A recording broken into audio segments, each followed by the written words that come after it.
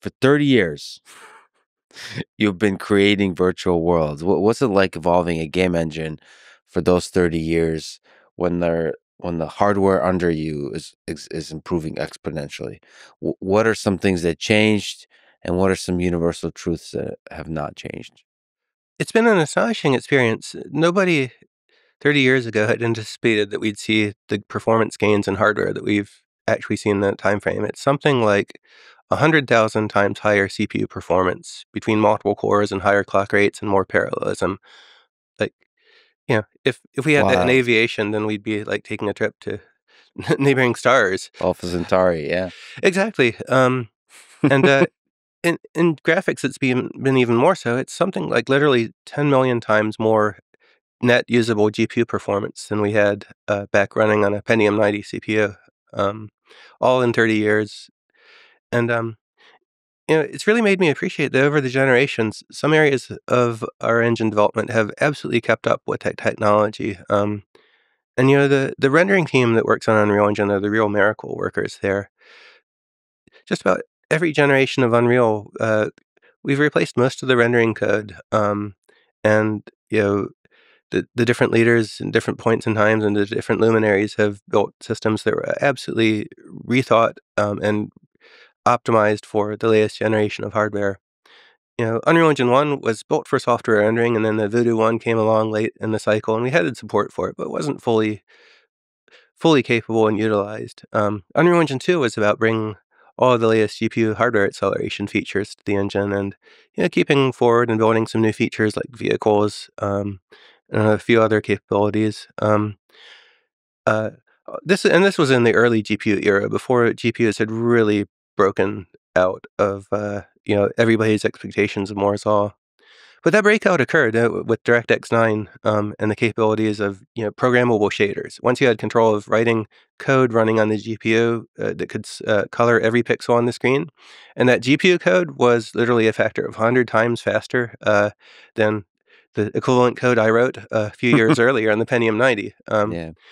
and so that DirectX 9 generation was a, a godsend. And um, Andrew Scheidecker, a longtime Epic luminary, wrote the core of the Unreal Engine 3 render around um, real time pixel shading, um, real time lighting, being able to do dynamic shadows using several different techniques, um, and multi thread the render to support uh, bits of uh, you know the early dual core dual core CPUs that were starting to show up at the time. Um, and it was a massive, massive graphical upgrade.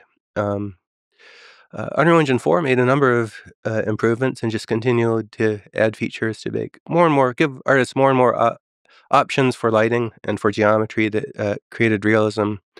Um, but then I think probably our bi- our biggest single level of uh, leap came with Unreal Engine 5 with a nanite micropolygon geometry uh, solution and with Lumen, the global illumination lighting solution um, you know, which which I think really bridged the gap gap from you know game game ish computer graphics to you know total observable photorealism um, for artists who wanted to create that.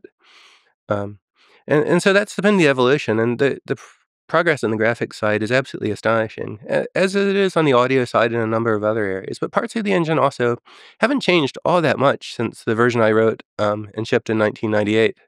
Um, you know, uh, the file management system uh, has been optimized a number of times, but it hasn't been completely rethought. Um, and the networking system, the the ways uh, that uh, clients and servers talk together and negotiate game state, uh, is still an evolution of the thing I wrote. Um, and you know, it's feeling kind of dated now. Uh, you still see networking bugs in Fortnite where, like, for some reason, when you're spectating, you're not seeing some parameters update. Well, that's uh, that's because of the loss lossful nature of that networking model.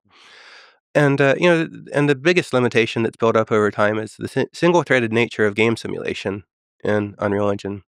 We run a single-threaded simulation. You know, if you have a 16-core CPU, we're using one core for game simulation um, and running with the complicated game logic because single-thread programming is orders of magnitude easier than multi-thread programming. And we didn't want to burden either ourselves or our partners or the community with the complications of multi-threading.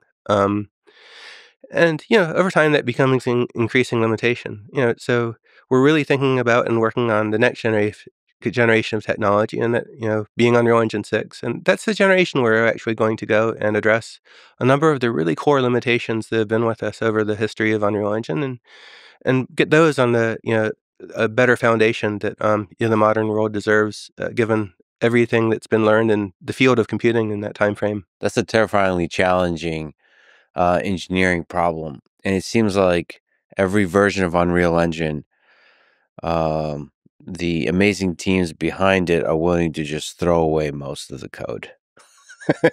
or uh, maybe I'm being a little bit too dramatic, but basically throw away the the old approaches, like you mentioned with Carmack, and uh, start again, like like with Nanite and Lumen. Just keep keep uh, optimizing to the current hardware, but even like rethinking how it's all done. But reth- going from single threaded to multi threaded, oh boy, that's terrifying. And that's in part, we'll talk about it, why maybe you have to uh, rethink the even the programming language that's being used um, to rethink a lot of things. that's fascinating.